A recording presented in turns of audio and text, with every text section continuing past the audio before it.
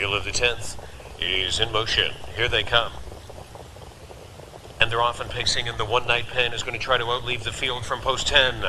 Leaving along the inside radar sign.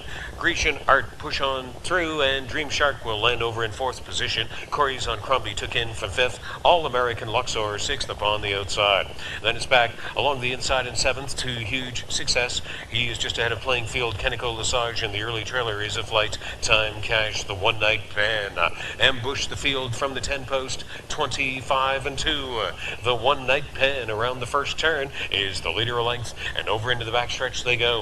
Landing along in second is Radar Sign. Grecian Art tags along in third. They straighten up towards the half. Dreams Shark is fourth in line. All American Luxor did find a five hole. Six pacers back. That's Corey's on Crombie on the way to the half. Just ahead of huge success. Playing field, Kenico Lesage, and two more to flight. Time cash. The one night pan tapped the air brakes in the second quarter. 54 and 2. 29 seconds. That split. The one night pan, All American Luxor, came first over and kicks in his second move in this one. They roll onto the final turn. Radar sign is in the box. Corey's on Crombie, served up second over.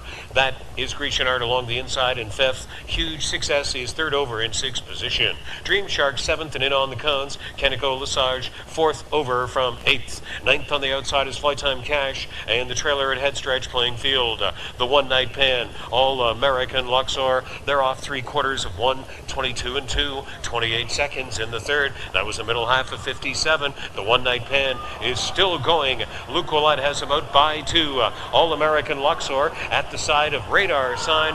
The one night pan through the stretch. That's the one night pan. The front end mission is complete. Here's a three-way place battle on the inside. Radar sign was trying to hold off Kenico Lesage and All-American Luxor.